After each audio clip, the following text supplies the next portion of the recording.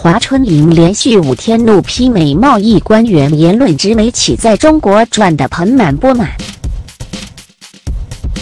据美国媒体报道，美国白宫贸易顾问纳瓦罗十九日称，当前中国与世界上其他国家在贸易问题上陷入了零和博弈，美国需要和其他国家共同合作应对。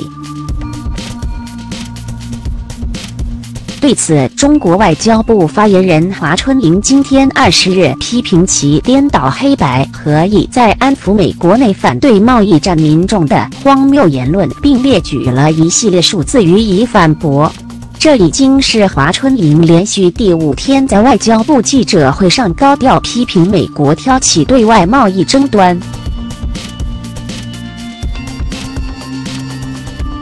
美国白宫贸易顾问纳瓦罗称，当前中国与世界上其他国家在贸易问题上陷入了零和博弈，美国需要和其他国家共同合作应对。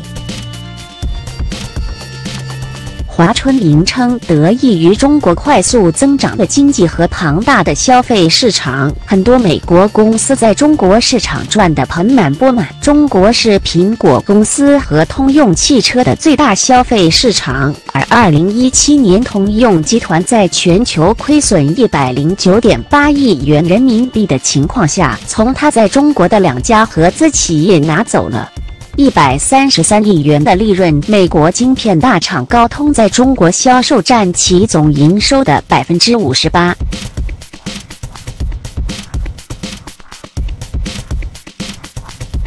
华春莹并指出，一部 iPhone 七手机售价最低为六百四十九美元，但属于中国的加工成本仅占不到百分之一。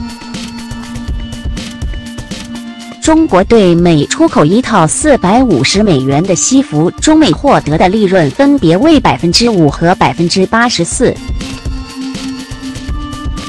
他反问：“不知道纳瓦罗先生对这几个数字有什么解释？难道也想拿他们作为美方在中美经贸关系中吃亏，中国在同美国零和博弈的例子吗？”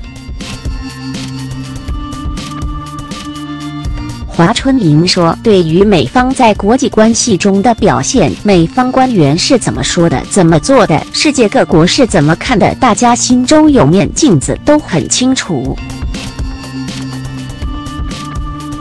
根据中国商务部在二零一七年五月发布的中美经贸关系研究报告称，一部 iPhone 七最低售价六百四十九美元，总成本大约为两百三十七点四五美元，其中归于中国的加工成本仅约五点九六美元。